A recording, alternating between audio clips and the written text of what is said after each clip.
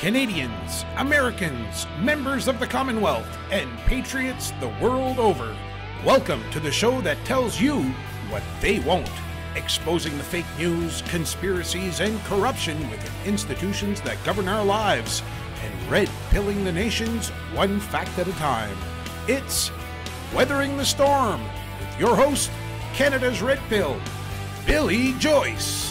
Good evening, folks, and welcome to another show. Uh, before I get started, I'd just like to say a big thank you to people who have donated to PayPal uh, in recent days Rachel A., Elaine B., Randall M., and Isabella R., as well as Sandy S. and Christopher J.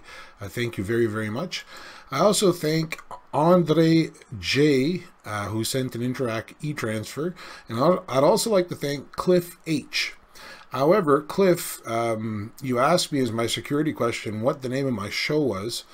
I thought it was Weathering the Storm. Now, I don't know if there was a misspelling there. Uh, if, if anyone wants to donate to e-transfer, a really simple question is what country do you live in? Capital C, Canada, Canada. Um, it, it's not really, no one can really access it, so it doesn't have to be a tough question. Um, the the simpler the better. So right now I can't access that donation, Cliff H. Uh, however, I appreciate uh, the gesture the gesture enormously.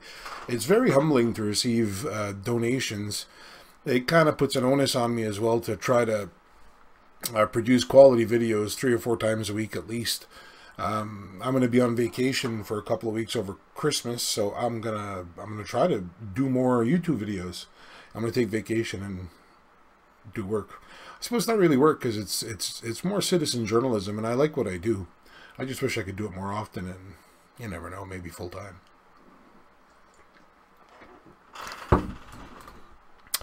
So, that being said, I know I've spoken a lot about Q. I know there are Q doubters out there. I know there are Q haters out there. I know that there are blind Q supporters out there. I know there are people out there who believe everything Q throws at us.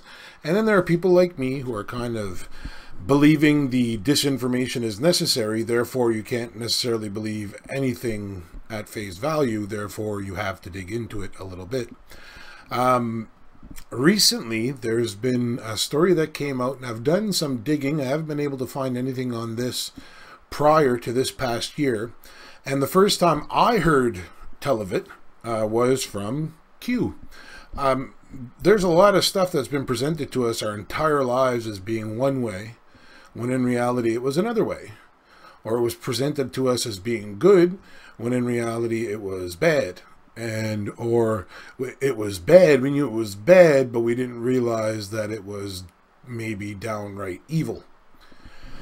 And case in point, Playboy, Playboy bunnies, Hugh Hefner, the that lifestyle, that the whole almost putting him on a pedestal. And Bill Cosby. And how are the two related? And what does it have anything to do with QAnon or Q or whatever you want to call them? Or them? Or them, it? I don't know. Still don't know what Q is, still don't know who Q is, still don't know if everything Q says can be taken to the bank. But I will say this last year in November, on November 20th, post 158.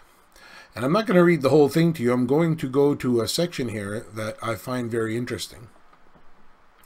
What if Hugh Hefner was a clown in America? What is a honeypot? Define blackmail. How could this be applied? Fantasyland. Who has all of the information? No such agency. The hunter becomes the hunted. Operations underway. Operators active. Disinformation is real. Disinformation is necessary. Silent war. Some gets out. The Great Awakening, Iron Eagle, Godfather 3, etc.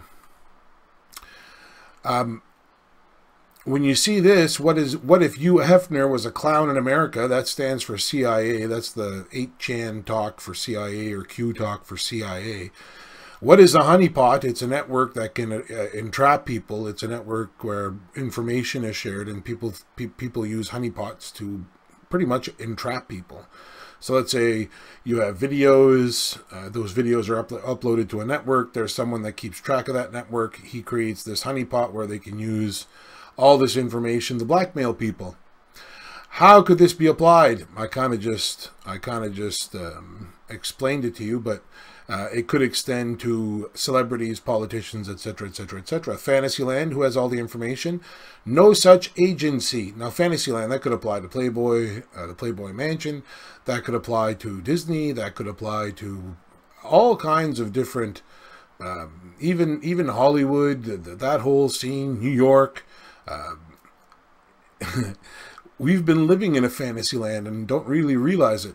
Uh, who has all the information? No such agency, the NSA, the National Security Agency. Uh, that's who General Flynn was the director of before he got into trouble. The hunter becomes the hunted. Operations underway.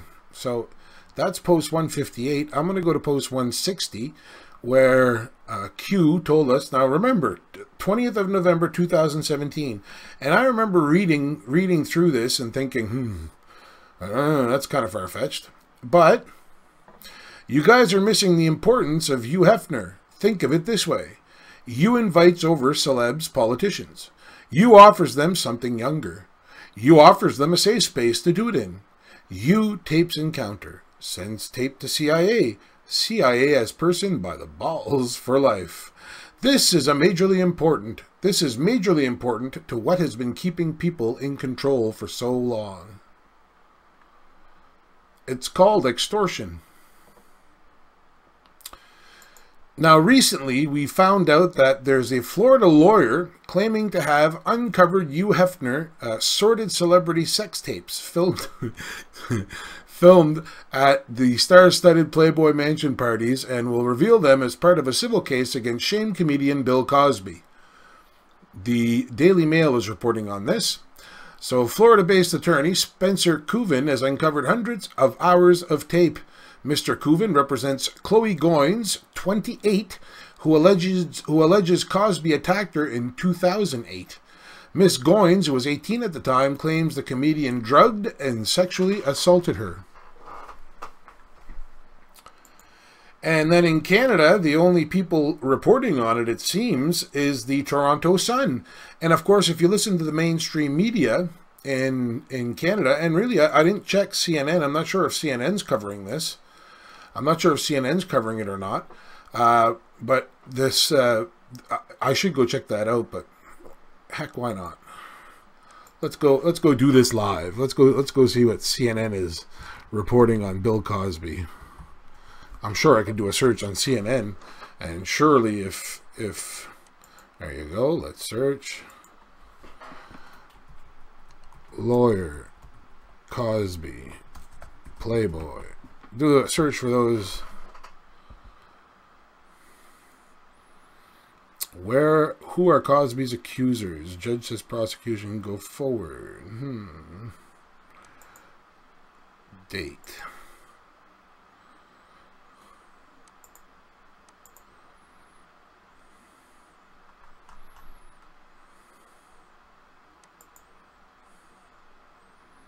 Nothing. Nothing from CNN. So yeah, it looks like, uh, I mean, the Daily Mail in the UK is covering it. The Toronto Sun in Canada is covering it. Um, Kuvin is saying uh, in this article, it says Kuvin said the tapes were handed over by Playboy Enterprises and appeared to have been professionally edited and produced. So I'm guessing someone at Playboy probably dubbed all of these videos before uh, Hefner, because there are other articles, you go look, there are other articles claiming that Hefner got rid of them, they were dumped at, in, at sea, but it appears that there were copies made of these tapes, and now they're in the hands of this lawyer. And this lawyer, um, if you read through this Toronto Sun article, I read through it earlier, and uh, this lawyer says that he went through uh, he went through the videotapes, uh, and it includes hundreds of hours, and he's saying he has uncovered a treasure trove of recordings involving dozens of high profile celebrities at the hedonistic flesh fests. Now, CBC News, when you do a search there for Bill Cosby Playboy Mansion, they're all old stories. There's nothing about this. Search results on CTV News, same thing. There's nothing really, they're not really, they're not covering this particular story. Global News says he's being sued. I didn't go read the articles, but there's nothing as recent as what this is, which is only four days ago. Uh, no, not even. Uh, yeah, three days ago, on the 16th. And you can be sure that there's nobody connecting the dots to Q who, over a year ago, was telling us that this Hefner and all these tapes exist and could be used for blackmail. They're certainly not, because Q's the one that made me aware that Hugh Hefner was even videotaping people high profile people. And if you go to uh, Q and you do a search, I did a search for CS. CS is a reference to Chuck Schumer. Now we we see Chuck Schumer on television every day with his glasses on the tip of his nose and speaking in a very a very controlled manner and very emotional and pulling on people's heartstrings and using very, very long um, academic sentences and words and just filling the minds of the sheeple with BS. Well, I think Schumer, uh, Schumer strikes me as the um, sleazy type and Q in post 389 last year. Well, look at that. Anniversary today, the 19th of December. He says Chuck Schumer Soros, Chuck Schumer Playboy, Chuck Schumer Heidi Fleiss, Heidi Fleiss evil, clown, blackmail. Q. So was Chuck Schumer compromised by these people? Or was he an active participant in this and then willingly and happily went along with the deep state cabal? I don't know. Is it possible? I mean, when when I do a search for CS on the Q boards, he's um, he's caught up in a lot of stuff like the Spygate Russia hoax. Um, here you see him and Nancy Pelosi having back and forths. Mueller going after inside plants and cheating Obama. Uh, here you're looking at uh, no direct investigation into Chuck Schumer. I think this is Chuck Schumer. It could be someone else. But the CSs that we've all agreed is, is Chuck Schumer. But the one that I really find suspicious is this one here. CS Soros, CS Playboy, CS Heidi Fleiss. And if Bill Cosby was videotaped at the Playboy Mansion possibly drugging an 18 year old and sexually assaulting her. I wonder how many celebrities and how many politicians have visited the Playboy Mansion thinking that they were going there privately, thinking that they were going there to have a good time with good old Hef. And then waking up the next morning and finding out that they were photographed or videotaped with someone very, very young. And then I wonder if, if this deep state really exists, what you could get someone like that to do. Maybe sell uranium to Russia? Maybe a big deal to Iran? Maybe, um, I don't know, carry out a terrorist attack or false flag attacks on your own soil to push certain agendas? There's all kinds of things that they could do, I guess. But I'll leave it up to your imagination.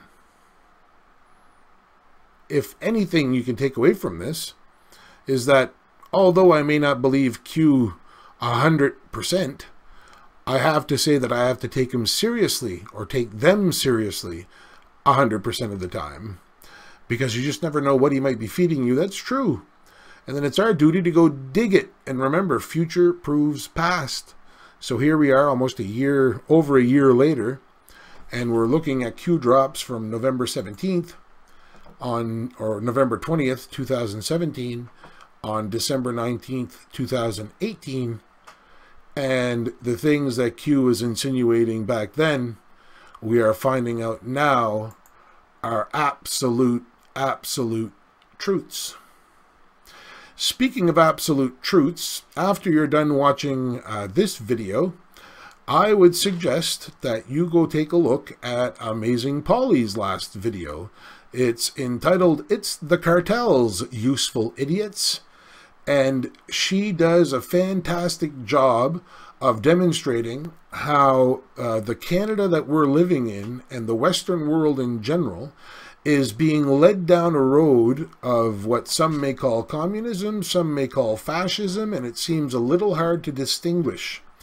And it's done right under our noses. And I invite you to go watch her take on it because she explains it a heck of a lot better than I ever could.